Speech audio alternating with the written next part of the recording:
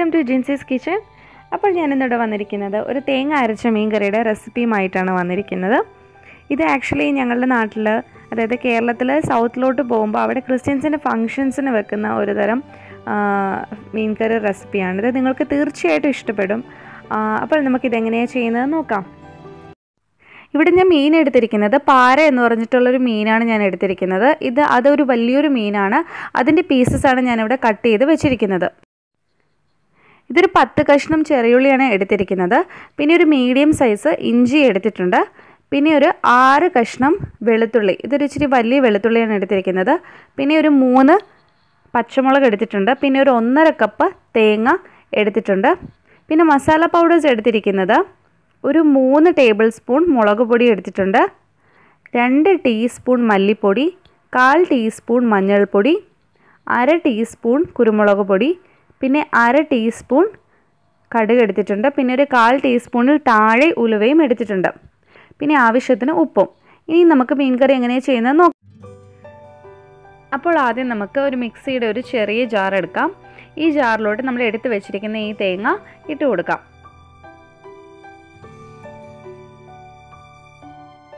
ഇനി തേങ്ങയിലോട്ട് നമ്മൾ എടുത്തു വെച്ചിരിക്കുന്ന ചെറിയ ഉള്ളിയിൽ നിന്ന് ഒരു മൂന്ന് കഷ്ണം ചെറിയ ഉള്ളി കട്ട് ചെയ്തിട്ട് ഇട്ട് കൊടുക്കാം.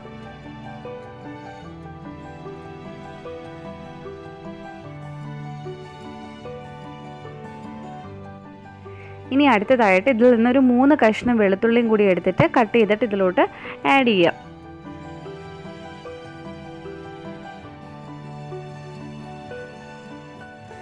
ഇനി ഇഞ്ചിയിൽ നിന്ന് നേർ പകുതി എടുത്തിട്ട് ഇതിലോട്ട് നമുക്ക് ആഡ് ചെയ്ത് കൊടുക്കാം. ഇനി നമുക്ക് പൊടികൾ ഓരോന്നായിട്ട് ചേർത്ത് കൊടുക്കാം. മുളക് പൊടി ആദ്യം ചേർത്ത് കൊടുക്കാം. മല്ലിപ്പൊടി ചേർത്ത് കൊടുക്കാം. കുരുമുളക് പൊടി ചേർത്ത് കൊടുക്കാം. മഞ്ഞൾപ്പൊടിയും ചേർത്ത് കൊടുക്കാം. ഇതിലോട്ട് കുറച്ച് കുറച്ച് വീതം വെള്ളം ചേർത്തിട്ട് നല്ല മഷി പോലെ അരച്ചെടുക്കണം. ഇപ്പോൾ ഞാനിവിടെ ആദ്യമായിട്ട് ഒരു കാൽ കപ്പ് വെള്ളമാണ് ഒഴിക്കുന്നത്. നമുക്കിത് ഒഴിച്ചിട്ട് നമുക്കിത് ഗ്രൈൻഡ് ചെയ്ത് നോക്കാം. ഞാൻ നിങ്ങൾക്ക് ഇതിന്റെ കറക്റ്റ് പരുവം ഞാൻ കാണിച്ചു തരാം. ഇപ്പോൾ ഞാൻ ഇവിടെ ഈ ഒരു പരുവത്തിലാണ് ഞാനിവിടെ അരച്ചെടുത്തിരിക്കുന്നത്. ഇത്രയും വെള്ളം പാടുള്ളൂ. നല്ല തിക്കായിട്ട് ഗ്രേവി ഇരിക്കണം. നമ്മൾ നോർമലി ഫിഷിന്റെ മസാല നമ്മൾ പൊടികൾ വെള്ളം ചേർത്ത് നമ്മൾ ആ ഒരു പരുവത്തിലാക്കത്തില്ലേ? അതുപോലെ തന്നെ ഇതും ഇരിക്കാവുള്ളൂ. വെള്ളം ഓവറാവാനായിട്ട് പാടില്ല. ഈ ഒരു ലെവലിൽ വേണം വെള്ളം ചേർക്കാനായിട്ട്. അപ്പോൾ വളരെ കുറച്ച് വീതം വെള്ളം ചേർത്ത് ചേർത്ത് വേണം ഇത് ഗ്രൈൻഡ് ചെയ്ത് നോക്കാനായിട്ട്. ആദ്യമേ ഒരുപാട് വെള്ളവും കയറി ഒഴിക്കരുത്. അപ്പോൾ ഇതാണ് ഇതിന്റെ ഒരു കറക്റ്റ് പരുവം. നമുക്കിതൊരു സൈഡിലോട്ട് മാറ്റി വെക്കാം. അപ്പോൾ നമുക്ക് കറി വെച്ച് തുടങ്ങാം. അപ്പോൾ കറി വെക്കാൻ ആവശ്യമായിട്ടുള്ള ഒരു ചട്ടി എടുത്ത് അടുപ്പിലോട്ട് വെക്കാം. ഈ ചട്ടി ചൂടായി കഴിയുമ്പോൾ ഇതിലോട്ട് ആവശ്യത്തിന് വേണ്ട വെളിച്ചെണ്ണ ഒഴിച്ചു കൊടുക്കാം.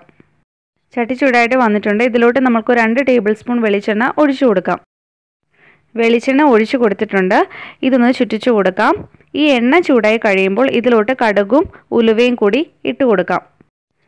കടുക് ഇട്ട് കൊടുക്കാം. ഈ കടുക് ഒന്ന് പൊട്ടിക്കഴിയുമ്പോൾ ഇതിലോട്ട് ഉലുവയും കൂടി ചേർത്ത് കൊടുക്കാം. ഉലുവ ചേർത്ത് കൊടുക്കാം. ഇനി ഇതിലോട്ട് ഉള്ളിയും പച്ചമുളകും വെളുത്തുള്ളിയും ഇഞ്ചിയും ഇത്രയും കൂടി ചേർത്ത് കൊടുക്കാം.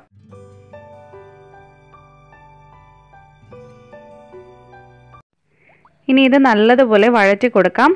എന്നിട്ട് ഈ ഉള്ളിയുടെ നിറം മാറുമ്പോൾ ഇതിലോട്ട് നമ്മൾ പേസ്റ്റ് പോലെ അരച്ച് വെച്ചിരിക്കുന്നില്ലേ ആ മസാല നമ്മൾക്ക് ഇതിലോട്ട് ആഡ് ചെയ്ത് കൊടുക്കാം.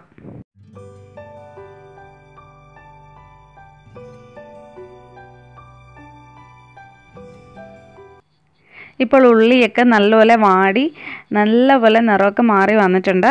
ഇനി ഇതിലോട്ട് നമ്മൾക്ക് നമ്മുടെ മസാല പേസ്റ്റ് ആഡ് ചെയ്ത് കൊടുക്കാം.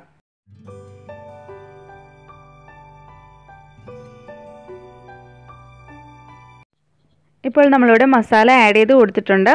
ഇനി ഇത് നല്ലതുപോലെ ഇതിലിട്ടൊന്ന് വഴറ്റിയെടുക്കാം. ഇതിന്റെ പച്ചമണമൊക്കെ മാറുന്നത് വരെ നല്ലതുപോലെ നമുക്ക് കണ്ടിന്യൂസ് ആയിട്ട് വഴറ്റി കൊടുത്തുകൊണ്ടിരിക്കണം. കാരണം അടിയിൽ പിടിക്കാനായിട്ട് പാടില്ല. പിന്നെ ഇത് ഏകദേശം ഒരു ലോ ഫ്ലെയിമിൽ ഇട്ടിട്ട് ഒരു അഞ്ച് മിനിറ്റോളം വഴറ്റേണ്ടി വരും. അപ്പോൾ അത്രയും നേരം നമുക്ക് നല്ലതുപോലെ വഴറ്റിയെടുക്കാം.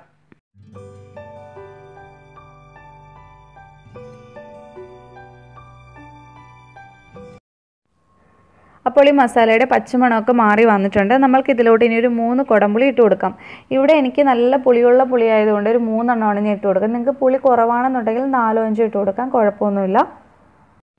എന്നിട്ട് ഈ കുടമ്പുളി ഇട്ട് കൊടുത്തിട്ട് ഒരു ഒരു മിനിറ്റും കൂടെ ഒന്ന് ലോ ഫ്ലെയിമിൽ ഇട്ടിട്ട് തന്നെ വഴറ്റണം. എന്നിട്ട് അതിന് ശേഷം ഒരു രണ്ട് ഗ്ലാസ് വെള്ളം നമുക്ക് ആഡ് ചെയ്ത് കൊടുക്കാം.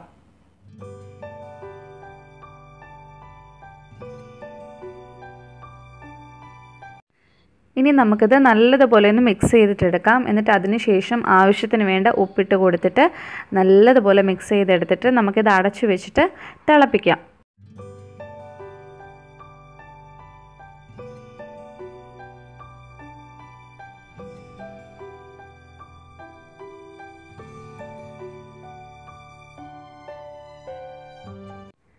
അപ്പോൾ ഇത് നന്നായിട്ട് തിളച്ച് വന്നിട്ടുണ്ട്. ഇത് ജസ്റ്റ് ഒന്ന് നമുക്ക് മിക്സ് ചെയ്ത് കൊടുത്തിട്ട് ഇതിലോട്ട് ഫിഷുകൾ ഓരോന്നായിട്ട് ആഡ് ചെയ്തിട്ട് കൊടുക്കാം.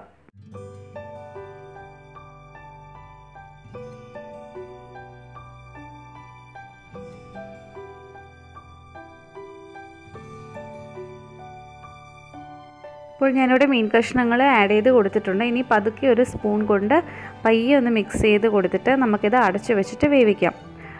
എപ്പോഴും പറയാറുള്ളത് പോലെ ഇനി നമ്മൾ ഈ സ്പൂൺ യൂസ് ചെയ്യാൻ പാടില്ല. ഇനി ഇതിന് ശേഷം ഒരു ടവൽ കൊണ്ടിട്ട് വേണം ഇനി ഈ ചട്ടി ഒന്ന് ചുറ്റിച്ചു കൊടുക്കാനായിട്ട്. അപ്പോൾ നമുക്കിത് അടച്ച് വെച്ചിട്ട് ഒരു മീഡിയം ഫ്ലെയിമിൽ വേവിക്കാം.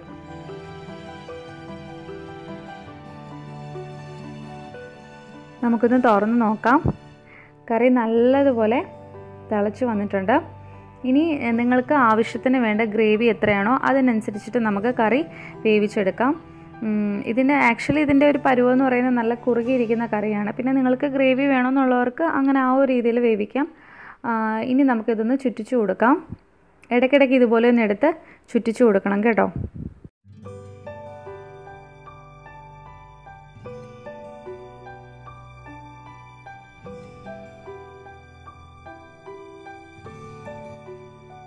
അങ്ങനെ നമ്മുടെ കറി ഇവിടെ റെഡി ആയിട്ട് വന്നിട്ടുണ്ട്.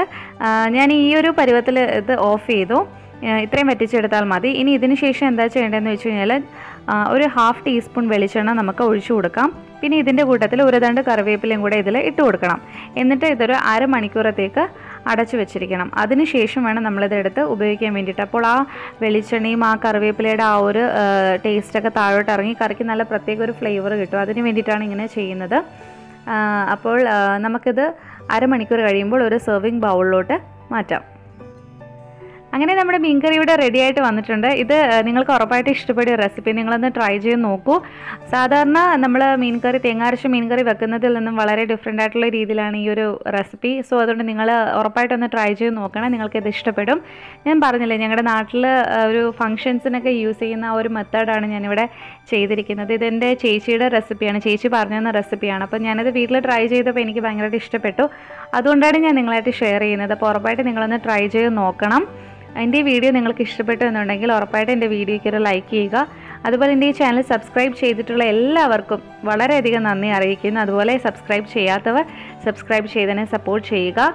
അപ്പോൾ ഇനി നമുക്ക് വേറൊരു ഡിഷായിട്ട് കാണുന്നത് വരേക്കും. Children signing off ചിൻസി by